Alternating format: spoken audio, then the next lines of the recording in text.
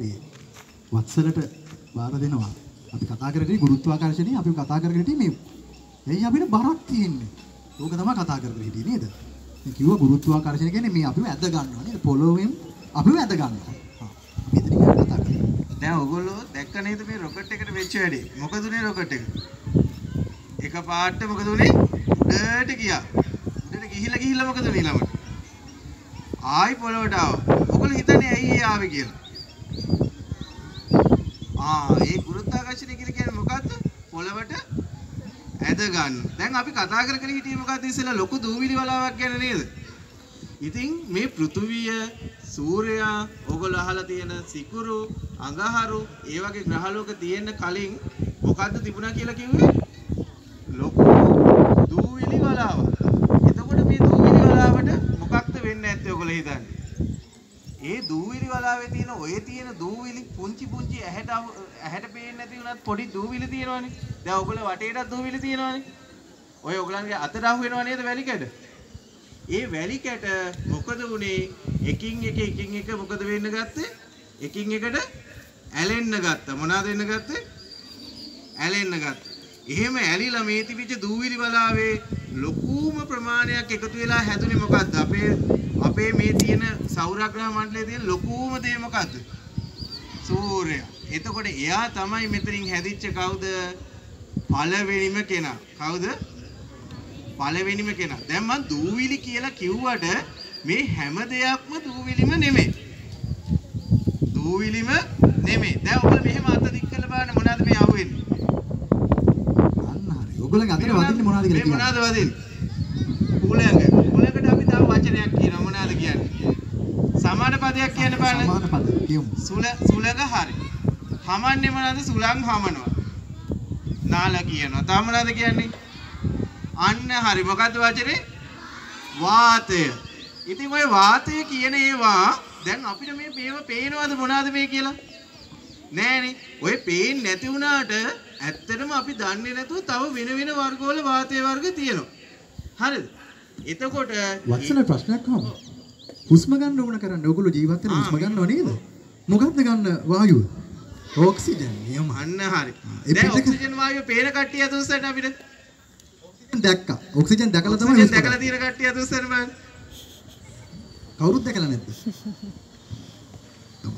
කවුරුත් දැකලා නැහැ. ඔක්සිජන් විතරද තියෙන්නේ?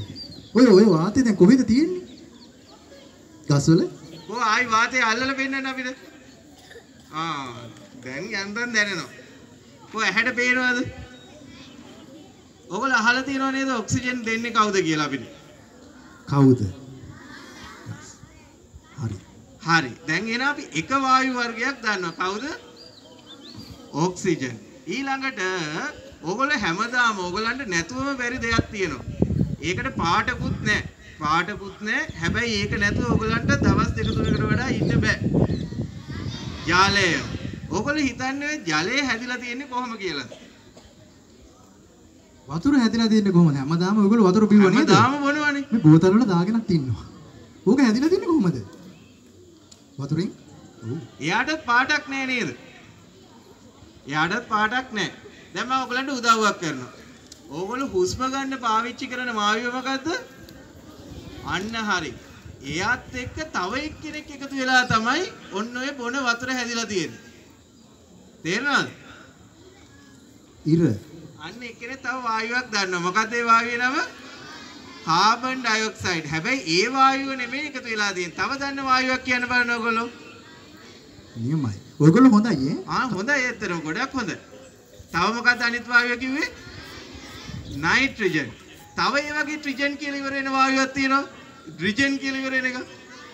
හයිඩ්‍රජන්. අන්න හරි. දැන් ඕගොල්ලෝ හැමදාම හුස්ම ගන්න ඔක්සිජනුයි. හරිද? ඒක ඕගලන්ට පේනවද? ඒක පේන්නේත් නැහැ. ඒ වුණාට ඒකත් එක්ක එකතු වෙලා හදනව මොකද්ද? තව පේන්නේ නැති ඇහැට පේන්නේ නැති වායුවක් තියෙනවා. එයා තමයි හයිඩ්‍රජන්. ඒ දෙන්න එකතු වෙලා ඕගලන්ට පාටක් නැති, රසක් නැති, ඒ වුණාට හැමදාම ජීවත් වෙන්න ඕන කරන මොකද්ද හදන්නේ? ජලය, වතුර හදනවා. ඉතින් දැන් මම මේ ඔය කතා කරේ වෙන දෙයක් ගැන කතා කරන්න. මොකටද? ඉතින් ඔය කියන හයිඩ්‍රජන්ව දැන් අපි අඳුරගත්තනේ. දැන් හැමෝම අඳුරනවා නේද හයිඩ්‍රජන් වල? හයිඩ්‍රජන් කියන්නේ මොකක්ද පුතා? හයිඩ්‍රජන් කියන්නේ කවුද? වායුව. එයා මොකද්ද හදන්නේ? එයා ඔක්සිජන් එක එකතු වෙලා මොනවද හදන්නේ? වාතුර. ඒක ජලය. ඉතින් මෙයා කොච්චර වැදගත්ද කියනවා නම් ඕගොල්ලෝ දැන් එකපාර හැරලා බලන්න එපා. අර පිටිපස්සෙන් තියෙන සූර්යයා ඉන්නවනේ. සූර්යාගෙන් වැඩිම ප්‍රමාණයක් හැදිලා තියෙන්නේ මොනෑන්ද? ජලය නෙමෙයි. අර කතා කරපු හයිඩ්‍රජන් වලින්. මොනෑන්ද? හයිඩ්‍රජන් වලින්. ඇත්තටම කියනවා නම් සූර්යාගේ ප්‍රමාණයෙන් අතිමහත් බහුතරය හැදිලා තියෙන මොනෑන්ද? හයිඩ්‍රජන්. ඒ කියන්නේ ඇහැට පේන්නේ නැති වායුවකින් හැදිලා තියෙන්නේ. ඒ වුණාට මේගොල්ලෝ වැඩ කරලා මේ ටික එකතු වෙලා තව වායුවක් හදනවා. එතකොට මේකෙන් මොකද වෙන්නේ? මේ සූර්යා අපිට තාපය ලබා දෙනවා. ආලෝකය ලබා දෙනවා. සූර්යයා අපිට ලබා දෙන දේවල් ඔක්කොමඩම අපි කියන තනි වචනේ මොකද්ද? ශක්තිය. මොකද්ද? ශක්තිය. සූර්ය ශක්තිය. දැන් ඔයගලන්ට රස්නේ නේද? ඔයගලන්ට රස්නේ ඔයගලන්ට ඉරේලිය වැටලා තියෙනවා. ඔයගොල්ලෝ හිතන්නේ මේ මේ ඈත තියෙන සූර්යාගේ ඉඳන් මෙතෙන්ට ඉරේලිය එන්න කොච්චර වෙලාවක් යන්නේ නැද්ද? මාසයකට කලින් ආ තප්පරයකට කලින් ආ කියන්නකො තප්පරයක් කලින් කියන කට්ටිය අදස්සන්න. එතන ඉඳන් මෙතෙන්ට ඉරේලිය එන්න තප්පරයක් ගියා කියන කට්ටිය. මට තප්පරයක් වුණේ මේ අපේ මඩවල අපේ සර් පොඩි දෙයක් මතක් කරන් තියෙනවා කියලා කිව්වා. පොඩ්ඩක් ඒක අහලා අපි ඔතන ඉඳලා තප්පරේ කතාව කරමු. වෛද්‍යතුමනි දැන් ඔබතුමා කතා කරේ සූර්යා ගැනනේ නේද? දුවේ පුතේ. දැන් ඔයාලා සූර්යා ගැනනේ කතා කරේනේ. අ, සූර්යා දිහා බලන්න නම් තදට තියෙන වෙලාවේ බලන්න ඇහැට හොඳ නැහැ. හැබැයි අපි චුට්ටක් ඒ පැත්ත හැරිලා බැලුවොත් බලන්න මේ මොන පැත්ත වගේද දුවේ පුතේ ඔය තියෙන්නේ. ආ බස්නාහිර මේ මට පුංචි ගැටලුවක් තියෙනවා. ඇයි බස්නාහිර කියලා ඔයාලා කිව්වේ එහෙම?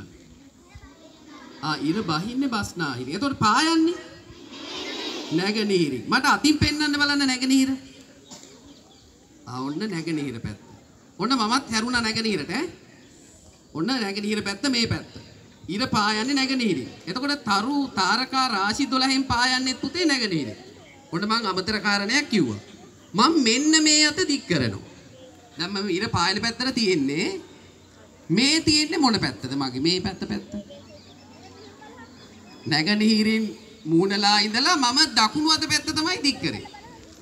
ඔයාලා ශිෂ්‍යත්වෙ ඉගෙන ගන්නව නේද? මොන පැත්තද? ආ දකුණ තියෙන්නේ දකුණු පැත්ත.